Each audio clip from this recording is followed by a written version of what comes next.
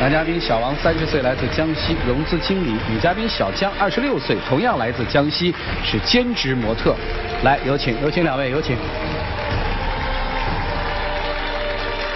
欢迎两位哈。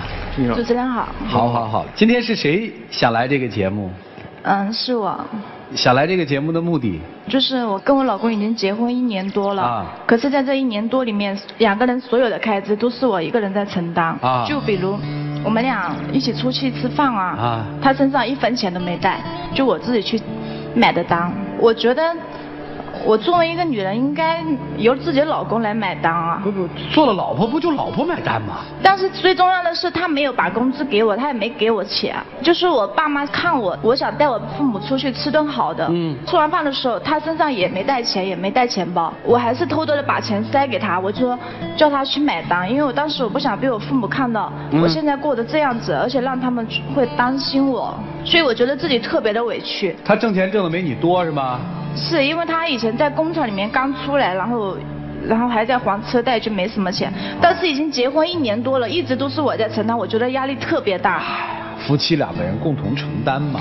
因为发生的不是这一点点事，一直以来一直都是我一个人在承担。哦。就像他跟他的同事出去吃饭，一桌人全部都是男人，然后我那时候就是打算跟他同事一起做点生意，嗯，请人家吃饭，他也没钱。也是我拿钱去买的单，我就觉得自己特别的委屈。哦。而且也不止这一些事情，特别特别多的事。生活压力是不是特别大？是我曾结婚到现在，他所有穿的衣服、鞋子啊，都是我在帮他买，我自己都舍不得买这么好的。哦。就是我自己自己的衣服，我都是买三四十、四五十，当时我给他买鞋子都是买四五百的，因为我觉得男人在外面要体面一点，我都是这样子想。可是他一直不上进，一直都是这样子。困难是暂时的，有一天万一他就上，哎呦，这话我都替你说都亏心，你知道吗？他对你好吗？对我还是挺好的，最重要的就是他没有上进心，不会负起这个家的责任。你是怎么说他没有上进心，不负起家的责任？你能给我举个例子？好比，嗯，他现在上班的地方，人家拿拿工资都是拿。七八千五六千，但是他的工资就每个月都拿一千多、两千多、三千多，嗯，反正你就是每一个月的工资全部用完两天，然后后面的那个生活费、所有的开支都是我在出，就连出去买东西。我们俩一起出去，他都是拿着我的钱包去买单。那不是我刚从厂里出来，刚换了工作吗？那你要跟我给平稳期啊。男生说要给个过渡期啊，好吧，咱们先把这个放在一边。你对未来有什么规划？你跟我们说说。我为的意思说，先工作一段时间，积蓄一点经验嘛，然后看时机的时候就开个店嘛。开什么店？之前我本来想同我同同我老婆开那个美容店的嘛，但是他一点存款都没有，然后只有我自己存了几万块钱，那个时候刚结婚，然后家里面欠了一些钱，来宝宝的时候就会压力特别大，然后现在我主要是叫他把钱没有，那个时候就怀孕了，后面就搁着了。孩子多大了？怀孕了？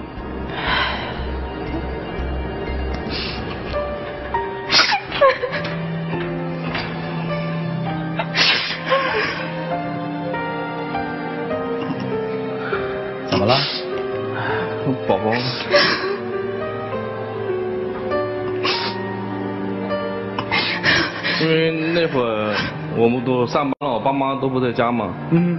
然后那天可能下去拿点东西嘛，不小心可能是没站稳嘛，踩空了嘛，然后就宝宝就没有了。当时孩子多大？那时候怀孕有五个月了。我天！在怀孕的那段时间里面。他所有的生活开支还是由我在出，就是平时家里面也没有人做饭，就是我一个人在家。啊。经常家里面就做一些剩菜剩饭。我最记得有一次，他爸叫我吃饭，家里面就一就一个榨菜，一个腌菜，都是放了一个星期的。那个饭也是酸菜酸饭，都是些饭把子。我就觉得自己的为什么跟别人不一样？嗯。他不仅不赚钱。就是我结婚的时候，他爸妈也没有为我煮过一餐饭，都是我自己想吃的时候就煮一点，不想吃的时候就不煮。所以有一次下楼梯的时候，我因因为那段时间我隔了差不多三四天没有吃饭，我就是吃点水果那样子。下楼梯实在没有力气，然后头昏眼花，踩就是踩空了，然后就摔下去了，然后就就宝宝就流掉了。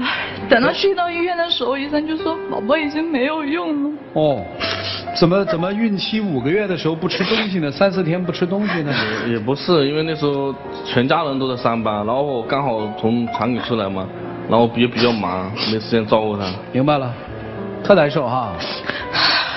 我肯定很难受，毕竟怀孕五个月了，但是宝宝就这样就没有了。嗯。最重要是现在已经过了半年多了，但是我还是看不到他努力。过了年到现在，他没有存到一点钱，就是一个月发了一千五，一个月上个月就发了两千五，然后这个月发了三千五，三千五百块钱我叫他一个月涨一千啊。就是不稳定那种，发了三千多，那个时候他死都不肯给我，叫他把这个钱存下来放到我这里，因为他不会存钱。结果等到月底的时候问他你存了多少钱，他说存了三百块，嗯，三千多他只存了三百块，然后上个月发了两千多，过了两天他身上又只有一千五了，赚的少他又不会存钱。我有几个问题问问你哈，不好意思刚才问到那个，呃，呃。你是不是会给别人一种印象？这个印象就是，你老嫌弃他挣钱挣的少。他的亲戚有没有说过？嗯，就是我。他的亲戚有没有说过说，哎呀，你，你这个这个媳妇儿老嫌弃丈夫，这样的话有吗？就是在他父母面前、亲戚面前，就是。认为我没有在上班，我没有在赚钱，都是花他的钱。因为我嫁给他之后，我就是在怀孕嘛，然后那时就是兼职去做模特。他爸妈以为他每个月给我一千五，事实上他没有给我一分钱。我问的问题是，他们家的人会不会觉得你这个女人挺好财的？有点这样子的想法。今天你为什么来呢？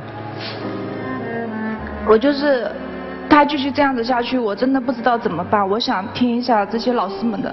你现在对他的抱怨是他挣不到钱，还是他存不到钱？他挣的少又不会存钱。可能在未来的三五年，他还是挣不到钱，因为他要学习。这个现实你能接受吗？我我现在真的不知道怎么办。你能接受吗？你先说你能接受还是不能接受？但是最起码得。你能接受还是不能接受？既然结婚了，肯定是要接受。那你打心里面。有嫌弃过他，觉得他没本事吗？唉，反正就觉得自己跟别的女人不一样。你会觉得你自己命苦是吧？也不是说命苦。后悔嫁他吗？唉，也不后悔。就是除了金钱方面，其他对我还是挺好的。他对你好，但是不太能挣钱，也不太会过日子，是这意思吧？是。你能等他五年吗？我也不知道。你都不知道了哈？你觉得你媳妇是因为嫌你不挣钱，所以才这样了吗？还是有别的？他也不止这一点，就算现在钱虽然是我在花，但是他被他亲戚父母都在误解我，因为我在花他的钱，一直以来。但是他从来不会去解释，有就前两天我听到他妈跟他讲，他说你每个月都交一千五百块钱给你家媳妇，你要交点生活费给我，交水电费、煤气费。但是我心里就在想，婆婆家呢？对他们家就他一个儿子，所以就住在一起。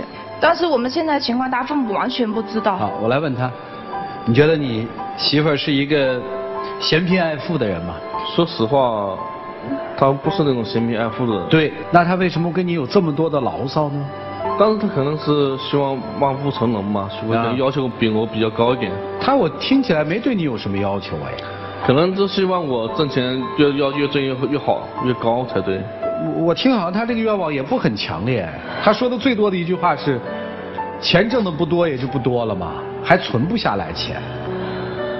这个是因为我这个人就是工作方面需要钱太多了，还有一些其他开支太多了。哦，所以我们看到的大概妻子对丈夫挣钱的这种不满，呃，或者其他的东西，比如说妻子的抱怨，甚至于妻子这段对于这段婚姻的不开心也好，迷茫也好，这个背后其实都是有原因的。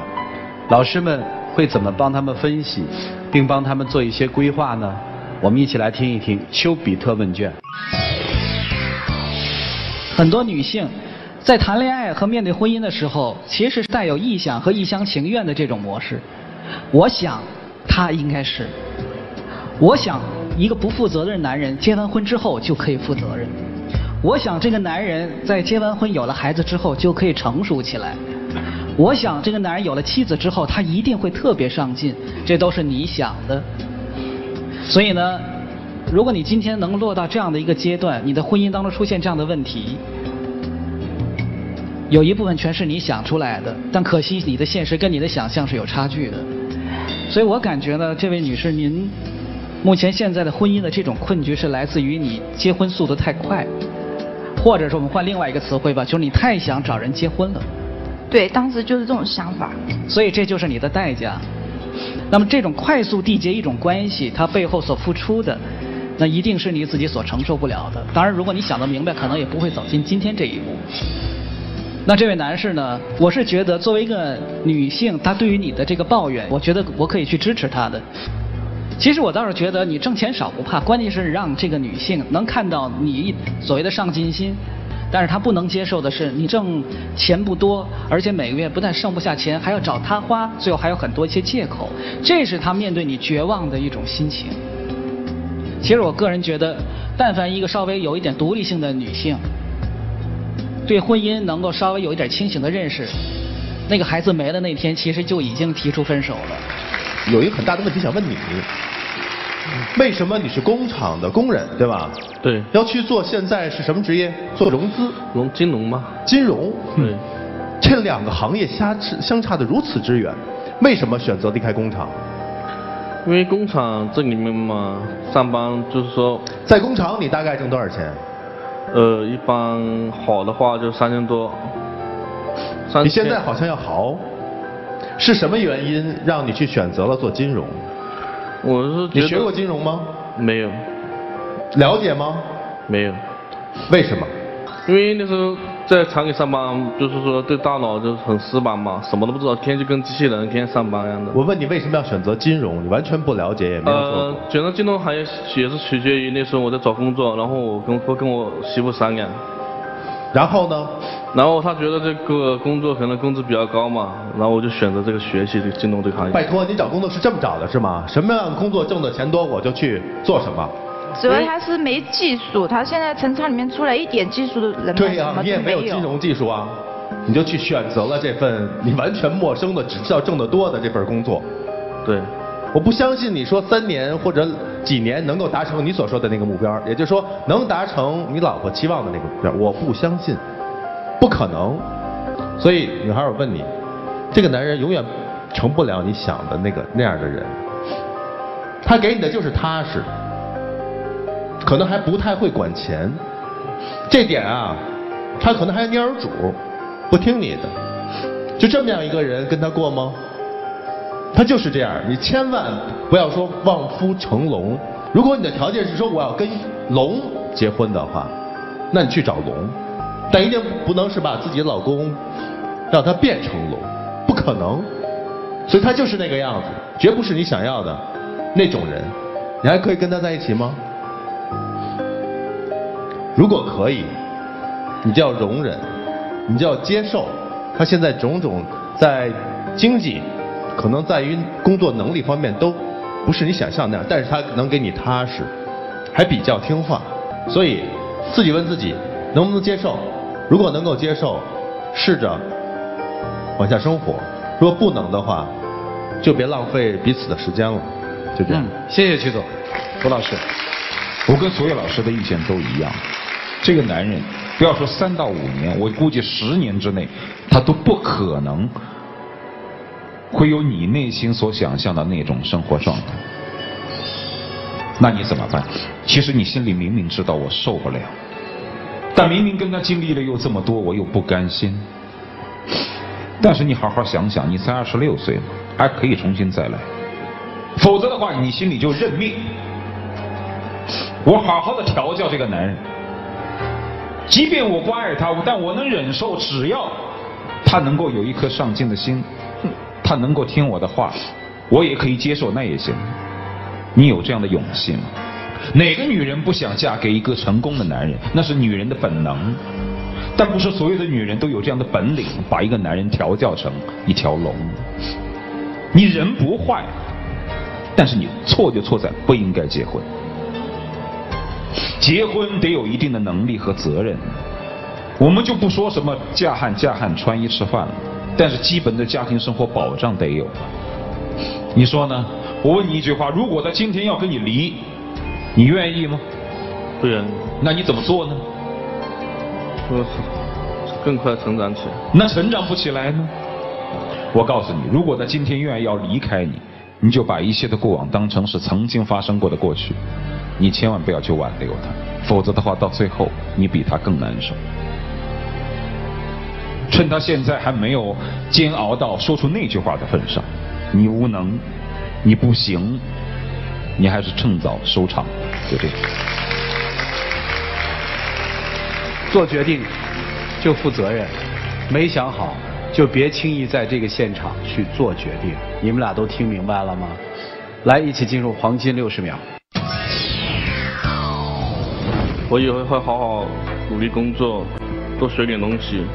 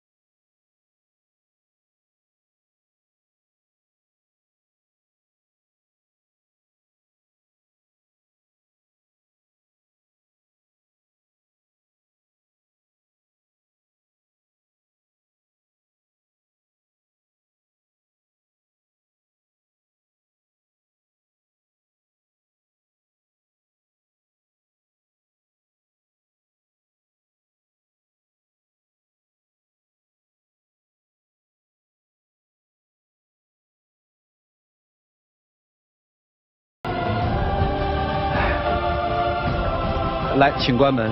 大概刚才老师们发言当中，大家听到最多的应该是这么几个关键词。第一个关键词叫接受。既然你选择了这样，你应该接受一些现实。第二个，我更愿意把它归结为顺其自然。顺其自然是什么？不是我就听命不为了，而是根据实际的情况，我们借势去做一些发展。第三个，大家可能要注意的关键词，应该是家庭的成长。家庭的成长不是一个人的成长，是两个人的共同成长。接下来，当然来看这对夫妻的选择，请。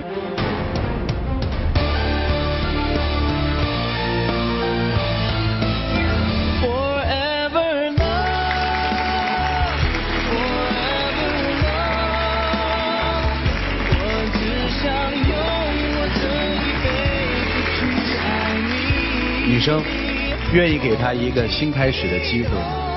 愿意。男生愿意去努力吗？愿意。女生即使他改变不了，依然会坚守他吗？会。有请我们的小话筒。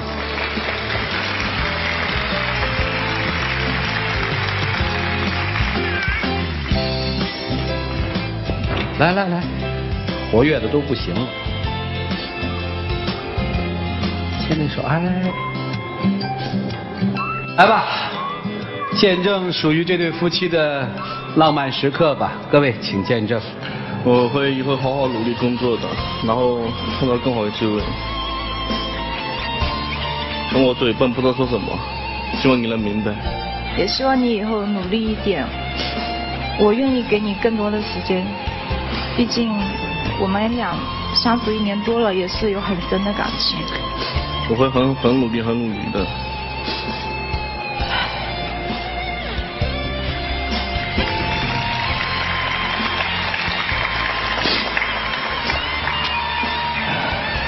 来亮灯吧，要保湿，易被湿啊，这是补水的，好好补补吧。